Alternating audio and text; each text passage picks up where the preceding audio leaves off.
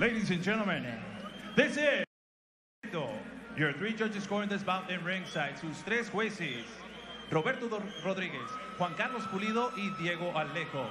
And your referee in charge of the action, su referee para este combate, Rodrigo Flores. Y es presentado a ustedes por, been brought to you by Toscano Boxing Promotions, Borizteca Boxing Promotions in association with Global Sports Streaming, BIB, the best in boxing. Introducing to you first, the fighter standing in the blue corner. Here is black trunks with yellow trim. He officially weighs in 182 pounds. No canto azul, vestindo su H amarelo e preto, con un peso oficial de 182 libras. He stands with a professional record of two victory, of two professional bouts. One victory, one defeat, and one of those victories coming by the fast way of knockout. En dos combates profissionais, uma vitória, uma derrota e uma vitória por nocaute. Damas y caballeros, recibamos como se merece a la leyenda brasileña y mundial de las artes marciales mixtas. Ladies and gentlemen, introducing the Brazilian and worldwide legend of MMA. Senhoras e senhores, apresentando a lenda brasileira e mundial do. Do Curitiba, Paraná, Brasil. Anderson, the Spider Silva. And his opponent across the ring, standing at the red corner. He wears green camouflage. He officially weighs in 184 pounds. Y su rival en la esquina roja, vistiendo pantaloncillo camuflaje verde, con un peso oficial de 184 libras.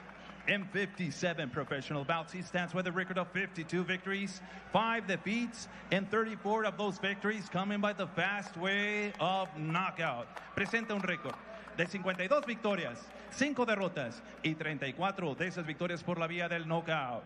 Ladies and gentlemen, introducing the former WBC middleweight champion of the world. Damas y caballeros, con ustedes, el ex campeón mundial peso medio del CMB. Puro Culiacán, Sinaloa, México. Julio César Chávez Jr. You hear almost equal applause for both And now fighters here. giving out the final instructions. Interesting. Your referee in charge, Rodrigo Flores. Eight rounds. Ocho Santos. Chris, let's talk about the keys to victory. What do these guys need to do, speaking Chavez first, to win this fight?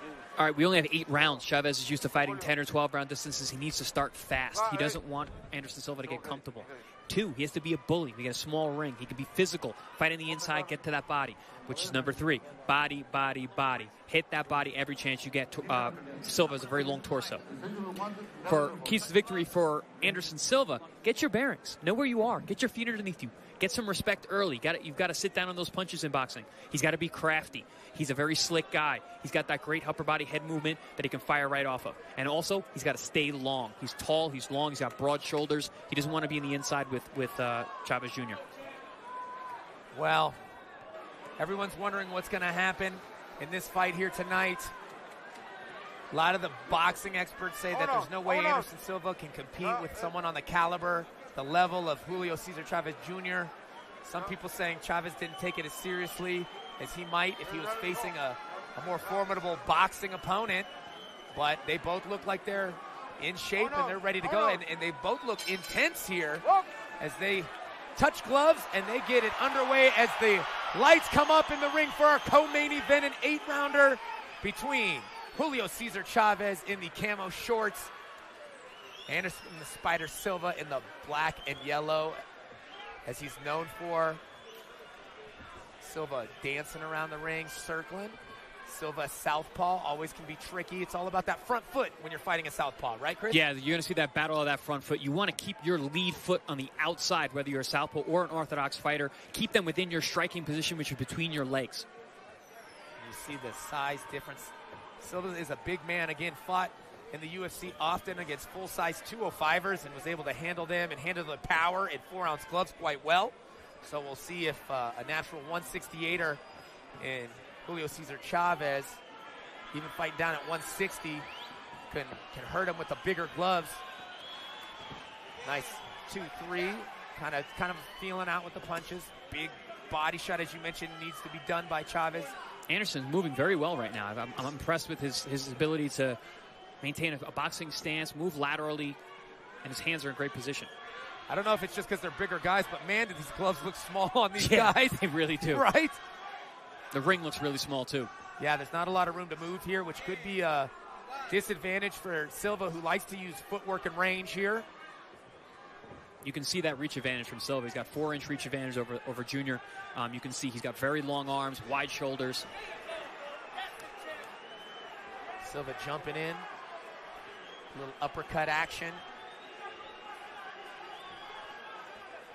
Chavez moving his head pretty well, not being a stationary target. Hands in good position. Overhand left. Partially blocked there by Silva.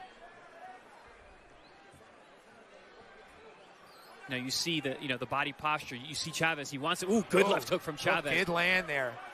And Chavez you know, wants to be in close. He's coming forward, forward, forward, and Silva's moving laterally. Wants to stay outside, stay long.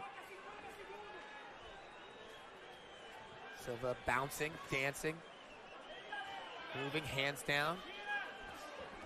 Now we know Silva. You know he's being uh, measured right now, but as we've seen him in his UFC career, when you hit him kind of lights a fire. He does have a chip on his shoulder. He is a true fighter. And when he does get hit, he wants to get it back. But he has to be careful against the experience, boxing skills of Julio Cesar Chavez Jr. You know, Silva at his best is a phenomenal counterpuncher. Ability to pull the trigger and land hard, sharp punches, one of the best in UFC history. Yeah, and he does like to lull his opponents in. Almost seems to be inactive at times, and the next thing you know, like you said, bang, that one big shot comes, hurts his opponent, and then he swarms. Good opening round. Yeah, I thought it was good to see both fighters. They both look in shape, sharp.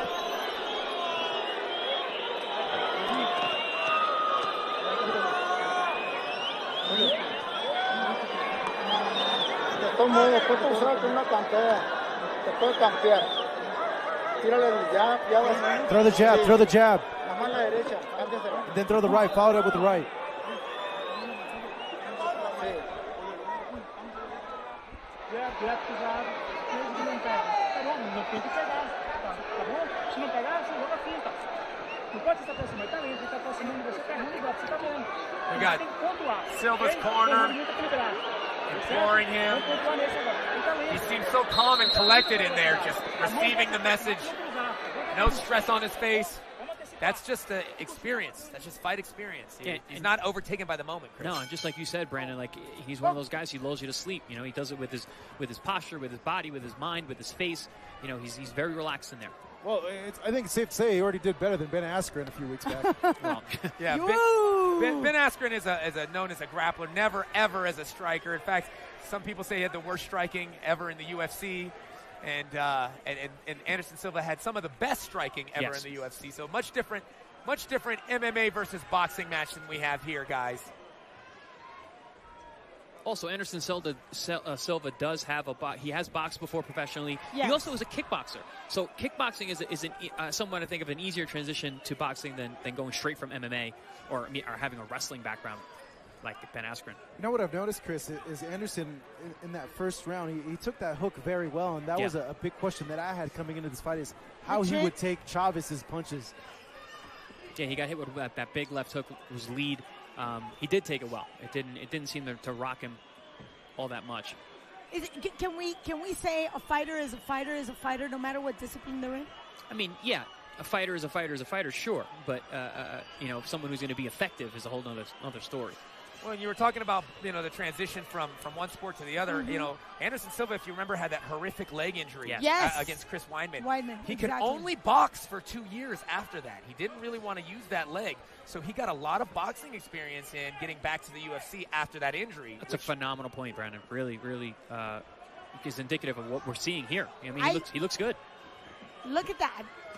He's dancing his way. He's a little awkward though. His footwork is awkward. Mm, good. Lands a big hook yes. though. But you know, fighting a southpaw is always a little bit more difficult. You don't see him as often. It always presents issues. and he moves a lot. He does not become no. a, a sitting target very often. No, he always had great head movement, great upper body rhythm for an MMA guy, which which generally you don't see at, at the high level in MMA. Oh, big shots oh, coming from Lord. Silva on yeah. Chavez in the corner, but Chavez looks unfazed, kind of like nice uppercut. Chavez showing pretty decent defense at this nice point. jab gets through. I'm actually surprised because uh, Junior is actually bringing action to Silva. Yeah, yeah, he's, he's pushing the pressure. He said he needed to do that too. He said, you know, I need to bring the fight to him.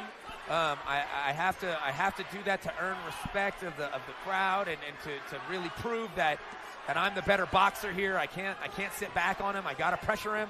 And he's trying to, but man, Silva is a tough cookie to catch. Yeah, Silva's in a rhythm right now. He, he was showing a few moments ago vintage Anderson Silva. He, would like to showboat a lot in his UFC fights. I think that's him finding his flow, though. That's, that's, that's what he needs. Very surprised at how good Silva looks this early in the match. Oh, oh. Referee giving a little warning there. Break it up. Listen to my instructions. Oh, Ooh, Silva blocks overhand. that nice. big overhand, man. Silva looking pretty smooth so far, looking confident. Big smile at the end of the